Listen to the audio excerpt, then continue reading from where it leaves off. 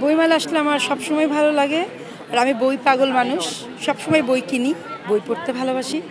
ছোটবেলা থেকে এবং এই অভ্যাসটা এখনও রয়ে গেছে।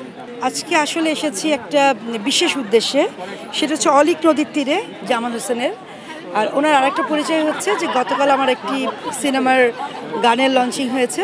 এটার উনি প্রডিউসার উনি এবং জামাল হোসেন এবং শাহিন আপা।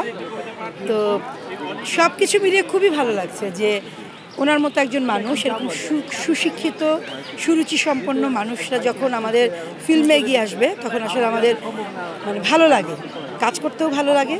আর ওনার লেখার ফ্যান আসলে আমি। ওনার প্রতিটা শব্দ প্রতিটা রোমান্টিজম এর সাথে যে, প্রকৃতির সাথে যে ভালোবাসাটা, এটা আসলে সবাই লিখতে পারে না।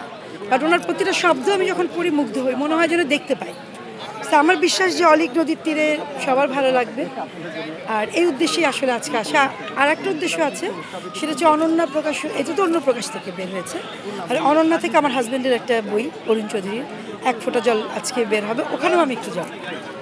প্রহেলিকা মানে হচ্ছে রহস্য। মানুষের জীবনটা একটু রহস্য, সম্পর্ক রহস্য। সো প্রহেলিকা ছবিটা কি? এটা আসলে আমি নিজেও জানি না।